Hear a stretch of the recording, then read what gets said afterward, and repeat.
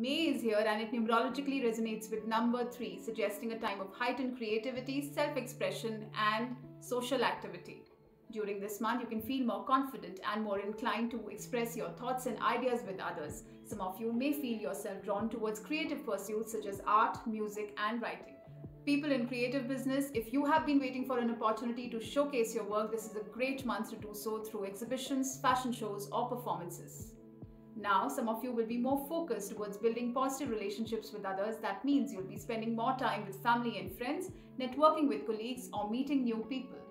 The energy of number three can also be scattered and distractive, so make sure you strike a balance between enjoying your social life and maintaining your focus on your goals and responsibilities.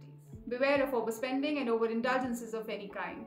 You can increase the magnetic vibrations of the month by wearing colors of amber, wine, red, forest green, and rose. With that, we wish you a very happy and a creative May.